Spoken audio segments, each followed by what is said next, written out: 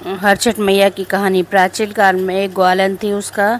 प्रसव काल अत्यंत निकट था। एक और वह प्रसव से व्याकुल थी और दूसरी ओर उसका मन गौरस दूध दही बेचने में लगा हुआ था। उसने सोचा कि यदि प्रसव हो गया तो गौरस यूँ ही पड़ा रह जाएगा। यह सोचकर उसने दूध दही के घड़े सिर पर रखे और बेचने के लिए चल दी। किंतु कुछ दूर पहुँचने पर उसे असहनीय प्रसव पीड़ा हुई। वह एक झरबेरी की ओट में चली गई और वहाँ एक बच्चे को जन्म दिया।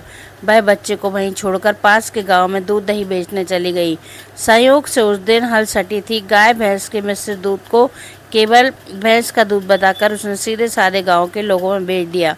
उधर जिस झरबेरी के नीचे उसने बच्चे को छोड़ा था, उसके समीप ही खेत में एक किसान हल जोत रहा था। अचानक उसके बैल भड़क उठे और हल छटका हल का फल शरीर में घुसने से वह बालक मर गया। इस घटना से किसान बहुत दुखी हुआ। उसने हिम्मत और धैर्य से काम लिया। उसने झरबेरी के कांटों से ही बच्चे के सिर चिरे हुए पेट में टाके लगाया। उसे वहीं छोड़कर चला गया। कुछ देर बाद ग्वालन दूध बेचकर वहाँ पहुँची। बच्चे की ऐसी दशा देखकर उसे समझते देर नहीं लगी कि यह सब उसके पाप की सजा है। यह सोचने लगी कि यदि मैंने झूठ बोलकर गाय का दूध न बेचा होता और गाँव की स्त्रियों का धर्म भ्रष्ट न किया होता तो मेरे बच्चे की यह दशा न होती। अतः मुझे लौटकर सब बातें गाँव वालों को बताकर प्राश्चित करना चाहिए। ऐसा निश्चय कर वह उस गाँव में पहुँची जहाँ उसने दूध दही बेचा था।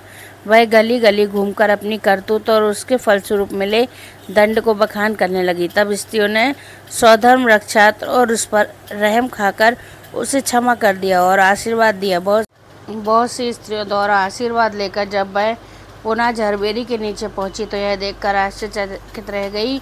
वहाँ उसका पुत्र जीवित अवस्था में पड़ा है, तभी उसने स्वार्थ के लिए झूठ बोलने को, ब्रह्म हत्या के समान समझा और कभी झूठ न बोलने का प्रण लिया।